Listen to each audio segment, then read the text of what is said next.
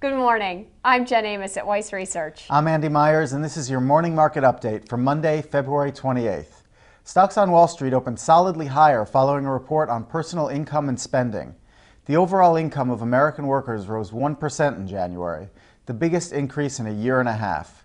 The jump was largely due to a temporary payroll tax cut that took effect last month. Meanwhile, consumer spending rose just two tenths of a percent, pushing the individual savings rate up to 5.8%. A separate measure within the report showed that overall inflation increased slightly, and the core personal consumption expenditure price index, a closely watched inflation gauge that excludes food and energy costs, ticked up just a bit. Over the past year, core inflation has risen 8 tenths of a percent. Later this morning, we'll get reports on business conditions in the Chicago area and pending home sales. Let's check in on oil prices, which have been a major weight on global equities over the past week or so. Right now, crude is dipping back below the $98 a barrel mark, despite continued protests across North Africa and the Middle East. Investors pushed prices to their biggest weekly percentage increase in more than two years last week, on fears that violence in Libya and other oil producing nations would cause more supply disruptions.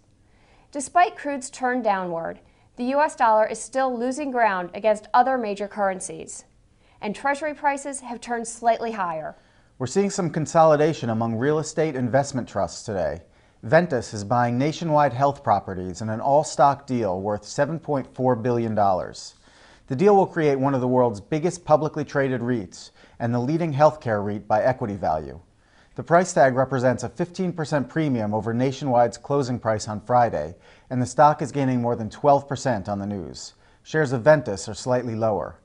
Separately, the Wall Street Journal reports that the private equity giant Blackstone Group is buying 588 shopping centers in the U.S. from Centro Properties. The $9.4 billion deal would allow Centro to unload some of its debt and focus on its Australian operations as a standalone company. In other potential M&A news, JP Morgan Chase is reportedly in talks to buy a stake in Twitter. The Wall Street Journal says the deal could value the popular website at more than $4 billion. A couple big stock movers to tell you about this morning.